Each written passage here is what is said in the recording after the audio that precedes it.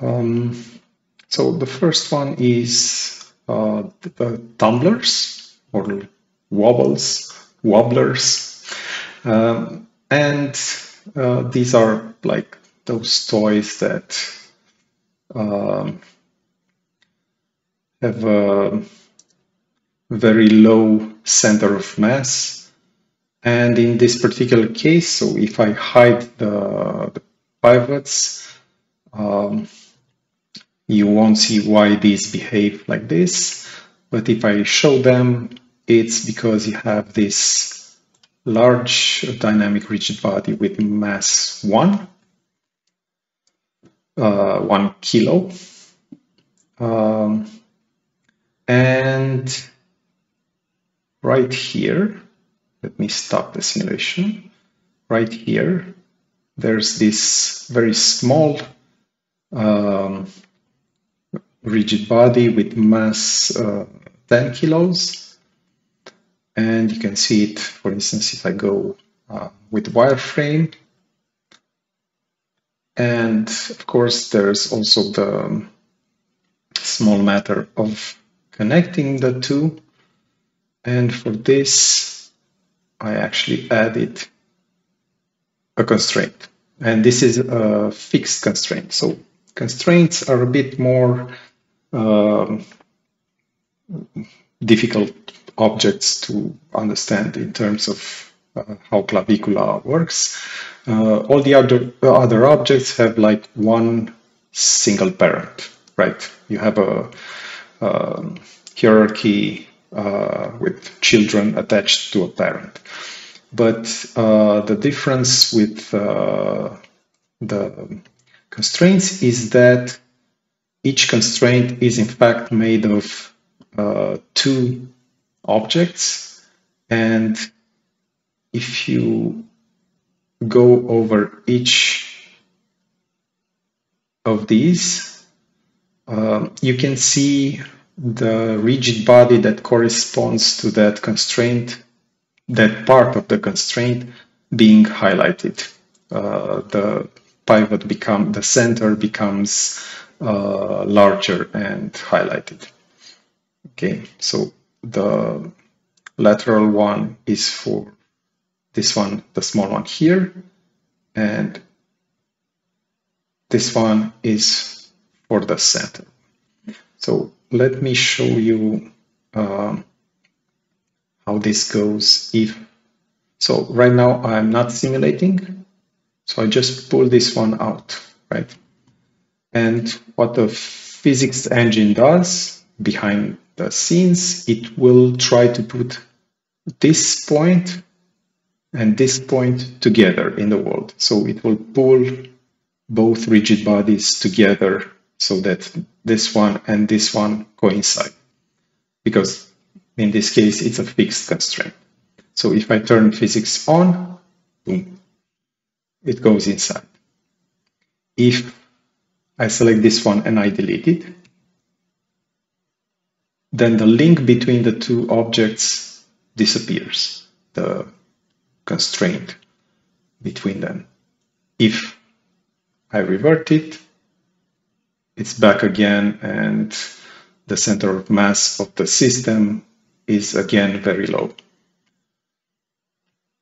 Yeah, so um, that's about it for this uh, demo, or perhaps let's just see how to uh, use one of these constraints. Um, let's go with the point-to-point -point constraint, and I'm gonna use insert, which for this type of objects, it will you can see what type of constraint you have here. Uh, I haven't yet made a display for them if, uh, if they're not in the scene, so yeah, it's a bit tricky, but um, if you know what you selected or if you go here and you see what type of constraint you have, then you're fine. You know what you're going to add in the scene. So I'm just going to, so I clicked on this one. So I'm adding a constraint, a point-to-point -point constraint here but it's going to be one half of it will be parented to the world. So it's fixed in the world. What happens then is, of course, you can see this one is parented to this one, and this half of the constraint, you don't see to uh, anything being highlighted because, in fact, it's connected to the world. So if moving this part of the constraint will actually, the, the physics engine will try to pull the rigid body connected to this part of the constraint here. And yeah, that's how these things work. So the point-to-point -point constraint, it's a constraint that just fixes uh, the positions of these two half constraints, let's say, and uh, it leaves the rotation free, right? There's a bit of a delay, uh, I mean, not a delay, but it's an offset uh, till the solver gets to uh, uh, fix these points together. And that's because usually a physics engine, uh, especially the ones for games, will never completely solve the system. And in some cases, if the system is like over constrained, you can't properly solve it anyway. So uh, yeah. Okay, so this is it for the, uh, what was it called? Tumblers example.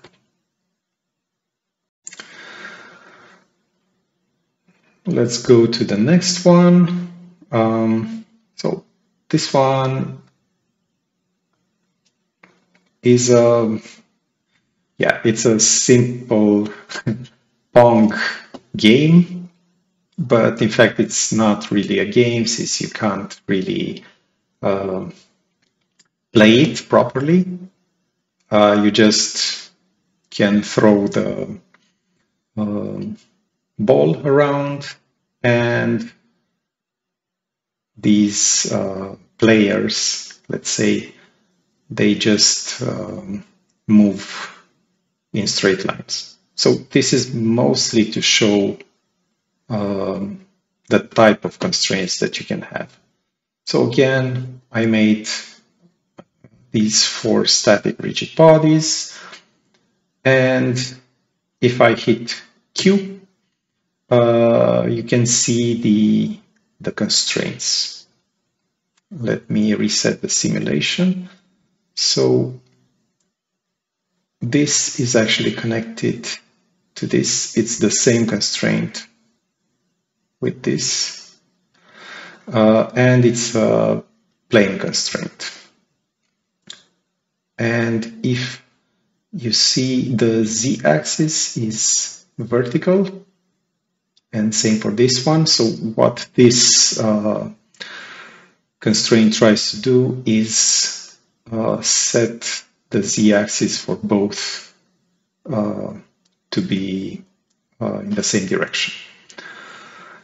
Um, so it will keep this object in the plane if you don't force it with the mouse or with other collisions.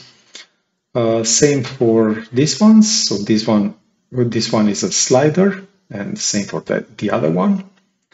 And uh, slider, the same, will um, try to keep the two halves of the constraint um, on the same z-axis. And of course, the rigid body connected, the rigid body is connected to them aligned along that axis. So this one is also connected to the world, which means that um,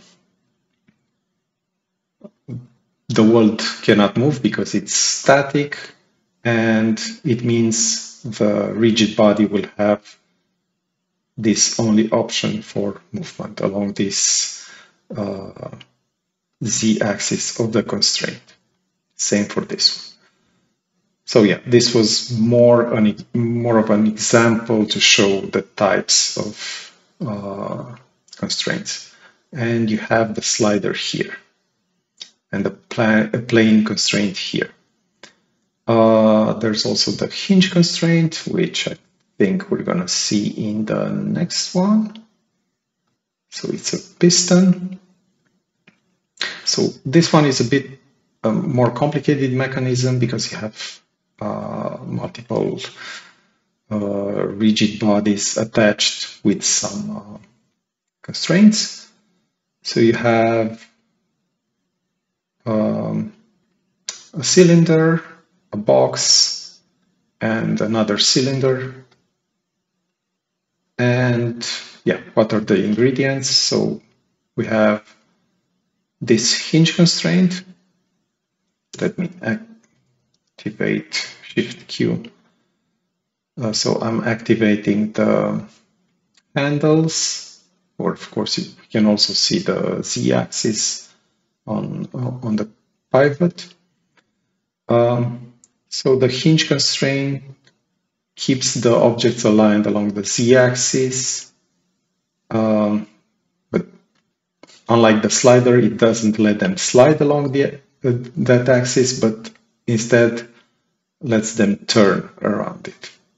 And this one is attached to the world. So again, it's like fixing this part and this part can turn around it.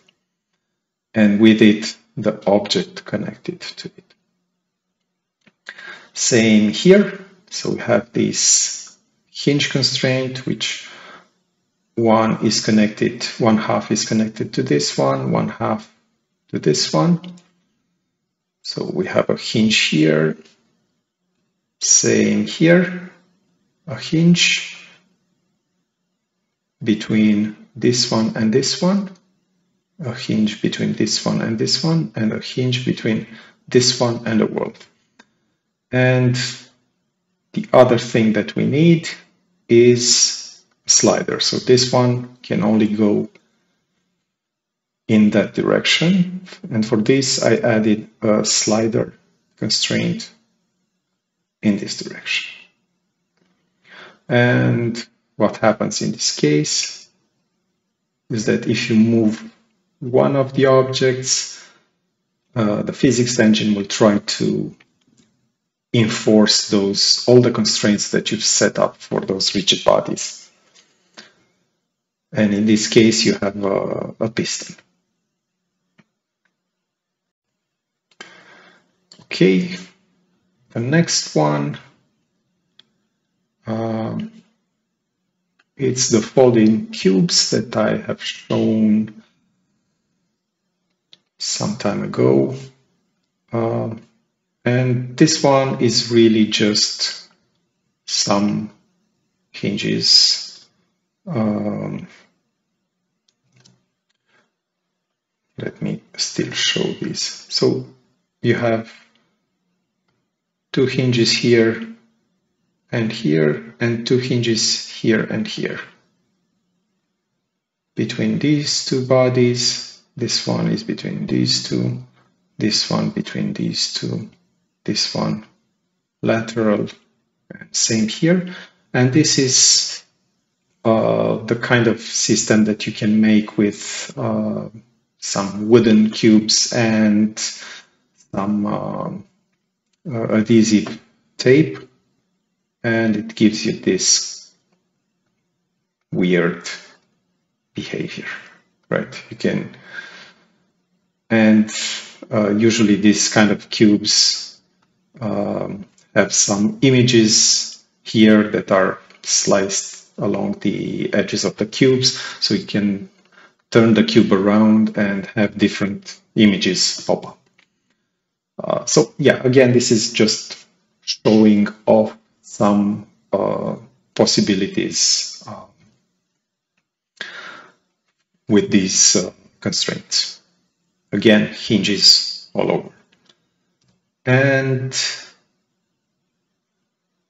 this one, so this one is a is a labyrinth which is made just from static rigid bodies all of these are static rigid bodies. uh, if I turn uh, the highlights on, you can see that everything becomes a bit more, well, violet blue, and this one becomes more green, which means that this one is a dynamic rigid bodies, rigid body, and all the rest are static. And what's more is that these lateral static rigid bodies are parented to this one. So they will move together. Um, let's turn the highlights off.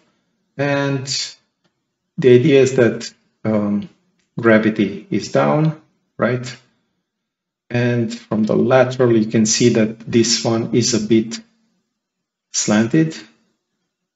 So if you turn this object, it will bring from the side, it will bring this part low. So the, the ball will fall.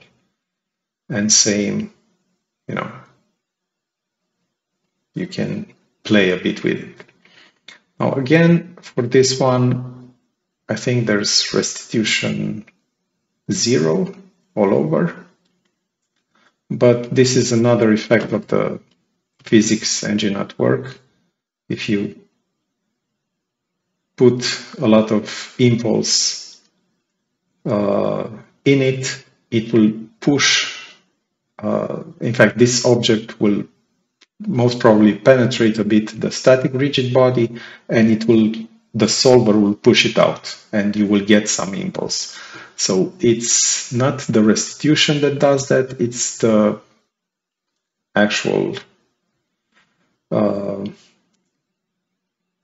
impulse from getting the rigid body out of one another, out of a collision. And yeah, there's still some small glitches uh, as to how the rigid bodies, like connected uh, static rigid bodies, move together. They still don't move uh, quite solidarily. They have some lag between them, still have to figure out why. And the last one is the okay the Strandbeest. Not sure how it's pronounced. So it's uh, one of those mechanisms that Theo Jansen designed for his um, creatures that walk on the beach. And yeah, it's just these boxes that have these hinge constraints between them. And I'm gonna show you in a later video how you can easily create such um, such a, an articulated uh, and rather complex physics system.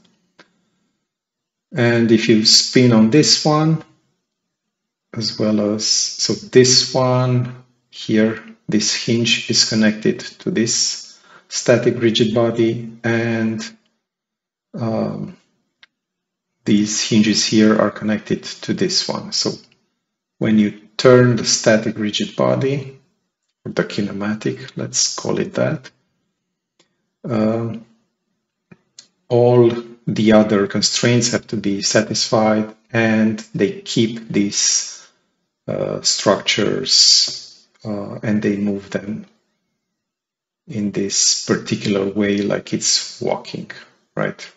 If you look at this point, it will do something like this.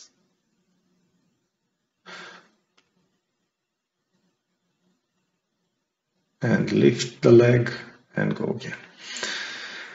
Okay, so that's pretty much it for the physics update. Again, handled with care. There may be small issues about it. Uh, do let me know if you find any.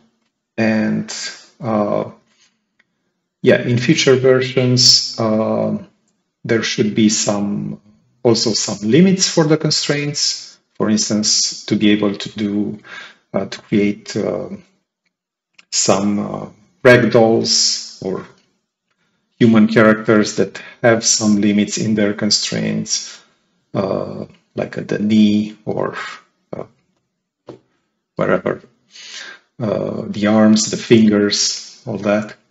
Um, there will also be some motorized constraints. So the idea is that these will be able to move, to rotate automatically and drive this kind of creature with many legs across a plane, for instance, uh, another static rigid body. Uh, yeah, and maybe other things as well, but uh, they will be implemented slowly, one at a time, uh, in the future versions. Uh, that's it for the physics uh, update.